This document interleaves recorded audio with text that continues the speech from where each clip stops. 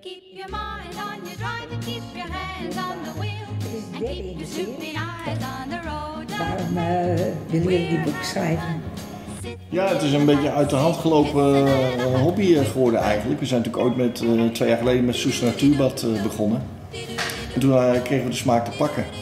En we merkten dat eh, ja, nostalgie, eh, oude verhalen, eh, herinneringen, dat mensen dat aanspreekt. En dat was eigenlijk voor ons de reden om vorig jaar het uitgaansleven in Soes te belichten. En dit jaar kwamen we op eh, de iconische bedrijven. En zo hebben we eigenlijk inmiddels een aardige serie neergezet. Ja. Ja. 39 bedrijven in het boek, hè? Ja. Ja. en volgend jaar komt deel 2 uit. Met nog eens zo'n 40 bedrijven. Dus wat dat betreft kunnen we ons uh, lol op. Maar hoe komen jullie aan die, eh, aan, aan die namen daarvan? Was dat, eh, ja, zat het zelf in je bestand of kreeg je dat doorgespeeld? nou, de, de, de- het, de eerste idee dat we hadden was natuurlijk eh, toen we met het uitgaansleven bezig waren. kregen we ook verhalen te horen van mensen die met, met, met de taxi of met de bus eh, naar, eh, naar andere plaatsen gingen om daar uit te gaan. Of binnen Soest. Verhalen van mensen die dronken in de taxi sprongen of via Tensen naar Amersfoort gingen. En toen kwamen we op het idee, het is wel eens leuk om, om die bedrijven eruit te lichten. In het verlengde daarvan. Dus met een taxitak en taxiklomp en met eh, busmaatschappij Tensen. Ja, vooral de laatste, Tenzen. Dat was Ja. voor mij wel een soort trigger. Tenzen was voor mij een grote naam. hè. Als klein jongetje met de bus mee. Ja. En ik wilde graag iets met Tenzen doen. En toen was René van Hal, die had een eh, presentatie op een gegeven moment in het eh, Gildenhuis. In februari van dit jaar, toen nog mocht allemaal. En toen dacht ik, ja, we moeten echt Tenzen meenemen in ons boek. Dat is zo'n groot bedrijf, een grote naam geweest. Zo'n zoveel herinneringen zit eraan vast, dat moeten we oppakken. Ja. Dus dat, ja, dat, dat was een van de, van de voorbeelden. Een van de grote voorbeelden, ja. Ja. Welk criterium leg je dan aan? Want ik bedoel, er zijn heel veel bedrijven. Je zegt Ja. net, eh, deel 2 komt er ook nog aan. Ja. Ja. Maar hoe selecteer je dat? Pure willekeur, eh, daar zal ik heel eerlijk in zijn. Het, eh, waar, het- waar het wel om gaat is van wat hebben die bedrijven betekend of betekenen ze nog steeds voor eh, de mensen in, in Soest. Eh, het, bieden van werkgelegenheid, eh, eh, was je daar als klant, heb je daar zelf gewerkt, vulde het het straatbeeld, zoals een Tensen of die taxibedrijven, Ja. Of zoals TBS, wat een heel groot bedrijf is, waar we, ja, die eigenlijk kolkputten maakt en, en, en, verkoopt en aan infrastructuur werkt.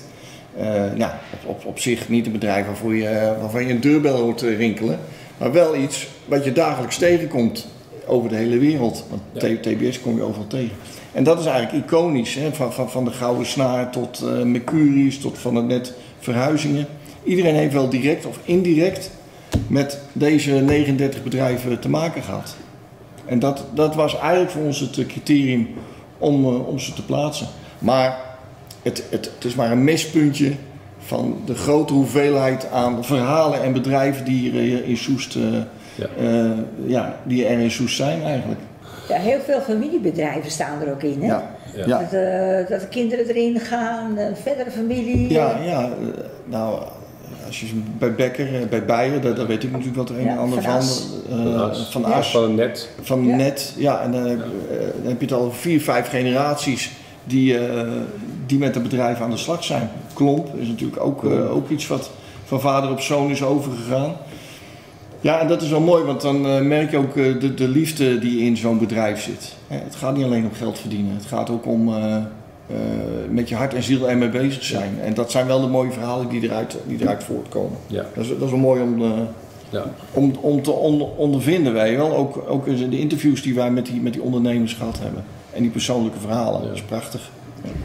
Kunnen we er een paar uitlichten? Wat je zegt van nou, dat was een leuk, eh, leuk iets om, eh, om wat bij te vertellen.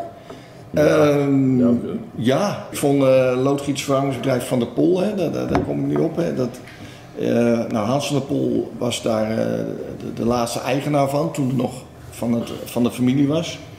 En Hans van der Pol en Hans Huffels. Hans Huffels die spreek ik nog regelmatig en, en die kwam mij een, een, een, eh, een jubileumboekje brengen in 1971, maar daarbij ook al zijn verhalen. En, en dat, dat ratelde ook maar door. En dat, dat is dan mooi om, om, om, dat, om dat te horen, hoe dat, hoe dat is. En al die mensen die daar gewerkt hebben. En dat typisch voorbeeld van een familiebedrijf waar veel mensen gewerkt hebben. En die ook veel gedaan hebben in Soest, ook veel installatiewerk hier hebben, hier hebben verzorgd. En waarvan eh, Hans van der Pol, eh, die zelf uit Montfort kwam, zich echt in, het, eh, Soest, in de Soeste samenleving eh, heeft gevestigd. Als voorzitter van Soest 2002, als, eh, voor, voor, de, voor de Gildefeest heeft hij veel gedaan. Is helaas overleden, maar hij leeft wel voort, eh, ook in dit boek. En, en, en zijn dochter stuurde mij een berichtje. En die was zo blij met, met dit boek. Ze zegt, ja, zo'n eerbetoon aan mijn vader. Ja, nou ja, daar, daar, doe- daar doe je het voor natuurlijk, Ja. voor, voor, voor zoiets. Ja, je noemde net al Tense. Dat was Ja. ook, eh, ja, dat is ook in Baren natuurlijk ook een gegeven. Ja, Ja. Iedereen kent dat nog. Ja. Ja. dat is ook een van de, van de bedrijven geweest. Hè. Maar ik vind de Gouden Snaar ook leuk. De Gouden Snaar, de platenwinkel van Soest destijds, uit in de jaren 60, jaren 70. Ja, die ken je haast niet meer zo, hè? Die, Nee, dat eh, kun je niet meer. Die zijn weggevallen. En de Gouden Snaar was voor ons allemaal een soort ankerpunt. Want elke woensdag, geloof ik, in de week ging de, de top 40. Dan gingen we allemaal uit school naar Gouden Snaar toe om eens exemplaar te krijgen. Ja. Dat was, ja, dat was ook voor mij was het een, een jeugdherinnering die eh, ja, bijzonder is geweest eigenlijk. En ook in luisterhokjes. Hè. Ik zeggen, je het kon de platen luisterhokje ook is daar. afluisteren, hè? Dan ging je daar het luisterhokje in met een meisje bijvoorbeeld. En dan, eh, ja, dan ging je daar natuurlijk eh, plaatjes luisteren. Maar misschien ook toen wel meer, dat weet ik Ja, niet. Ik weet niet Maar, maar dat- maar dat was toch heel gezellig altijd. Weet je? Maar het was toch een speciaal, het was een speciaal iets. Het was, eh, in mijn herinnering was het, was het heel, heel erg bijzonder. ja. Ja. Wat ik ook leuk vond, dat, eh, dat er ook eh, aandacht werd besteed aan eh, de, de hazelaar. Ja. Hazaar. Ja, ja. Dat is toch ge- ja, geen transportbedrijf, of toch een beetje een ander soort bedrijf. Ja. Ja, het is meer cultuur. bewust gekozen. Hoor. Bewust cultuur. gekozen. Ja, ja, ja. ja, daar hebben we een hele leuke middag hebben we daar doorgebracht hè, in de Ja. zomer. Het was net na de lockdown. Ja, het, het, het gekke is dat Lekker warm. de, de Hazelaar is, ja, is buiten Soest heel bekend. Ja. Ja, de stichting, eh stichting. Eh, maar in Soest zelf is het wat minder bekend. Niet iedereen kent eh, de Hazelaar. En dat vinden wij eigenlijk heel gek. Ook, Ja. ook geven ze zelf aan. eh, van ja, heel gek, want iedereen kent ons buiten Soest. Hè. Al kunstenaars zeg maar, in Nederland en, zelfs in Europa. Die komen naar ons toe met exposities en, en dat soort dingen. Maar in Soest zijn we niet zo heel bekend. Nee. Nee, toch iets eh, om, Dus om in de boek te Ik, vermelden. hoort zeker in het boek Ja. thuis als een iconisch bedrijf in Soest. Want ze hebben echt een grote naam eh, verworven. Ja, en Hengsum staat ook in het boek. Van staat uitgebreid in het boek zelfs. Natuurlijk het oudste bedrijf van Soest, eh, op de agrarische bedrijven na dan, want die zullen waarschijnlijk nog wel ouder zijn. Maar Van bestaat sinds 1756. Dus ja, dat is, eh, dat is, dat is wel flink oud, eh, om het zo maar te noemen. En eh, ja, ook een bedrijf waar heel veel mensen werken. En eh, ja, die, die loopt de jaren natuurlijk flink is meegegroeid. Dus dat, eh, Ja. ja, en, en dat, dat vind ik ook echt wel een mooi verhaal geworden. Hoe, Ja. hoe het bedrijf is gegroeid. Ook weer typisch een familiebedrijf. Tot, eh, eigenlijk tot nu, want de directie wordt niet meer gevoerd door, door de familie van Hengstem. Maar wel ja, een prachtige historie. Ja, Ja. Ook landelijk, hè? Ook een bedrijf dat landelijk veel doet. Mooi verhaal geworden. Ja. ja. Wanneer is het eerste boek uitgereikt eigenlijk? Pas? Eh, dat twee weken geleden, komend weekend drie weken geleden. Ja, t- eh, 20 november hebben we dat gedaan. Dat hebben we uitgereikt aan eh, Jaap van der Broek. Jaap van der Broek die schrijft ook verhalen, maar dan in beeld. Dus die maakt veel foto's voor eh, onder meer de Soester Krant. Eh, en we hebben het uitgereikt postuum aan eh, Paul Martens. Paul Ja. Martens was altijd eh, heel erg belangrijk in de Soester zakenkring. Was eh, verbinder toen verbinder nog geen modewoord was. Maar hij, hij zorgde dat bedrijven met elkaar in contact kwamen. Maar Paul is helaas overleden in maart van dit jaar. En we hebben het dus aan zijn eh, kinderen uitgereikt. Dus dat was wel een mooi Ja, moment eh, om een hier te doen. ontroerend ja. moment. Ja. Ja. Ja. Het voorwoord van Hans Kruiswijk. Ja. En die sprak over een hartverwarmend soestgevoel. Ja. Ja, ja. Hans weet er altijd wel de warmte in zijn teksten te leggen, dat klopt ja. ja. ja. Maar ja, dat is wel mooi, want Hans natuurlijk eh, is historicus bij uitstek.